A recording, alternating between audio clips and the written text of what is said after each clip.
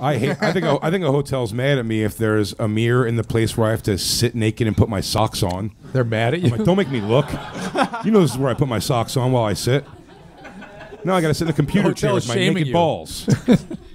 Fuck you, Courtyard Marriott. Houston, Texas. But then you see like fat guys like Zach. They're so comfortable. He does a naked roast. It's crazy. I to envy me. that. I do envy people don't give a fuck. Oh, the gathering of the Juggalos. You bring up the insane clown posse. I've never Love- I felt love those guys. And everybody, I love those guys. I really everybody walks around fat as all hell, Yeah. shirtless, and doesn't They- give a fuck. they accept I do. themselves. I have sort of a thing I where I'm wish. just like, good for them, dude. Yeah, yeah. Who gives Here's a the- fuck? It is I- what it is. It- and also, you're not fooling anybody anyway. It's When I, when I was younger, I was fat and I had never been in shape. When I was like in high school and college, that was that. I was like, cool, I'm just a fat guy. Who gives a shit? Then I got in shape in my mid 20s and then I became obsessed with it. And now, like, I'm so much more self conscious than I ever was before I Yeah. ever got in shape. Fag. Whoa, Dr. Drew. I think now when I'm in the mirror, things look all boopy doo to me.